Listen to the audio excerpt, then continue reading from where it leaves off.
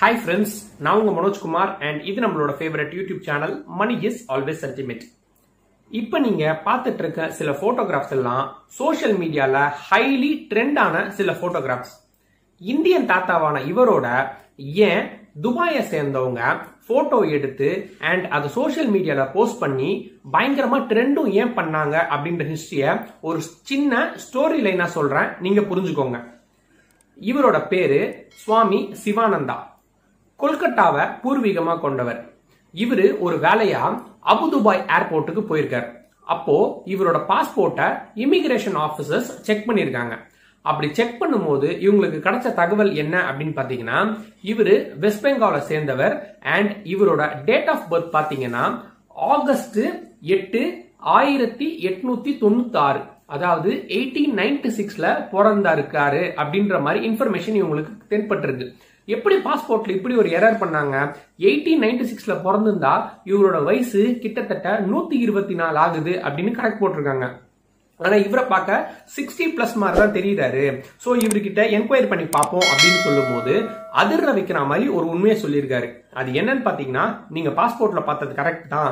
என்னோட year of birth வந்து eighteen ninety six தான் அப்படின்னு சொல்லியிருக்காங்க. என்னங்க நூத்தி இருபத்தி நாலு வயசு தாத்தாவா நீங்க? உங்களை பார்த்தா அப்படி தெரியவே இல்லை அப்படின்னு சொல்லி எல்லா ஆபீசர்ஸுமே இவரை வந்து பேசியிருக்காங்க.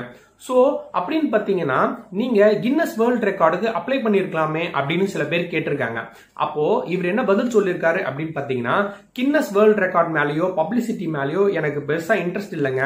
அதனால நான் அப்ளை பண்ணவும் விரும்பல. அதை பத்தி எனக்கு தெரியவும் தெரியாது அப்படின்னு சொல்லியிருக்காரு. ஆக்சுவலா டேட்டா படி பாத்தீங்க அப்படின்னா ஜப்பானை சேர்ந்தவங்க ஜெரோமின் கிம்ரோன் அப்படின்ற தாத்தா நூத்தி பதினாறு வயசான ஒரு தாத்தா. அவர் இப்போ பிரசன்ட்ல உயிரோட இல்ல அவர் இறந்துட்டாரு. அவர் தான் உலகத்தின் வயதானவர் அப்படின்ற ஒரு போஸ்டோட கின்னஸ் வேர்ல்டு ரெக்கார்ட்ல இடம் பிடிச்சிருக்காரு. சோ சப்போஸ் இவரு நம்மளோட தா இந்தியன் தாத்தா வந்து அப்ளை பண்ணியிருந்தாரு அப்படின்னு பாத்தீங்கன்னா இவர் தான் வேர்ல்டு ஓல்டஸ்ட் ஏஜ் தாத்தா அப்படின்னு சொல்லி இவருக்கு கின்னஸ் புக் ஆஃப் வேர்ல்ட் ரெக்கார்ட்ஸ்ல இடம்பெறதுக்கு வாய்ப்பு கிடைச்சிருக்கும். இதுக்கப்புறம் வயசானவங்கள ரொம்ப வயசானவங்கள பார்த்தா நம்ம ஜென்ரலாக என்ன கேட்போம்? என்னென்னலாம் சாப்பிடுவீங்க? எதனால நீங்க இவ்வளவு வருஷம் உயிர் வாழ்றதுக்கான ஆப்பர்ச்சுனிட்டி உங்களுக்கு கிடைச்சிது அப்படின்னு நம்ம கேட்போம். இவரும் அதுக்கு சூப்பரா ஒரு பதில் சொல்லியிருக்காரு. என்னன்னு பார்த்தீங்கன்னா இவருக்கு இந்த ஃபேன்சி ஃபுட்டு மேலாம் சுத்தமாக இன்ட்ரெஸ்டே கிடையாதான் ஈவன் பால் ஃப்ரூட்ஸு இந்த சீஸு பட்டர் இந்த மாதிரி எந்த மேட்டருமே இவர் சாப்பிட மாட்டாராம். அண்ட் ரொம்ப இம்பார்ட்டண்டான விஷயம் என்னன்னு சொல்லிட்டு பார்த்தீங்க அப்படின்னா ஸ்பைசஸ் அதாவது கார வகையோ இல்லாட்டி வந்து உடலுக்கு பாதிப்பு தரக்கூடிய எந்த பொருளுமே நான் சாப்பிட மாட்டேன். அண்ட் இவ்வளோ வருஷம் வாழ்றதுக்கு எனக்கு கை கொடுத்தது அப்படின்னு சொல்லிட்டு பார்த்தீங்கன்னா நான் தினமும் பிராக்டிஸ் பண்ணுற யோகா தான். ஸோ நீங்களும் யோகா ப்ராக்டிஸ் பண்ணுங்க அப்படின்னு சொல்லியிருக்காரு. அது மட்டும் இல்லாமல் இவருக்கு வந்து கின்னஸ் வேர்ல்ட் ரெக்கார்ட்ல இடம்பெறதுக்கு இன்ட்ரெஸ்ட் இல்லை அப்படின்னு சொன்னார் இல்லையா? சரி ஓகே அப்போ உங்க வீடு வந்து பயங்கர பாஷா இருக்கும். ஸோ உங்களுக்கு டென்ஷன் ஃப்ரீ என்விரான்மெண்ட் இருந்ததுனால தான் நீங்க இவ்வளவு வருஷம் உயிரோட வாழ்ந்திருக்கீங்க அப்படின்னு சொல்லி கேட்டிருக்காங்க. அப்போ அவர் என்ன சொல்லியிருக்காரு? நான் இன்ஃபேக்ட் பெட்ல கூட படுக்க மாட்டேன். நான் தரையில தான் படுப்பேன். ஒரு பெட்ஷீட் கூட போட மாட்டேன்.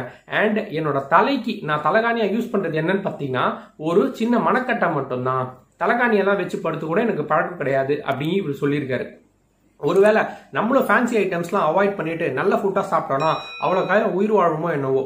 சரி ஓகே ஃப்ரெண்ட்ஸ் இந்த இன்ஃபர்மேஷன் கண்டிப்பாக உங்களுக்கு பிடிச்சிருக்கும் அப்படின்றத நம்புறேன். இந்த இன்ஃபர்மேஷன் பிடிச்சிருந்தா மறக்காம ஒரு தம்ஸ் அப் ஒரு லைக் கொடுங்க. மறக்காம நம்ம மணி சால்வேஸ் அல்டிமேட் யூடியூப் சேனலுக்கு சப்ஸ்கிரைப் பண்ணிட்டு பக்கத்தில் இருக்க அந்த பெல் ஐக்கானே கிளிக் பண்ணி விட்டுருங்க. Thank you friends meet you in next video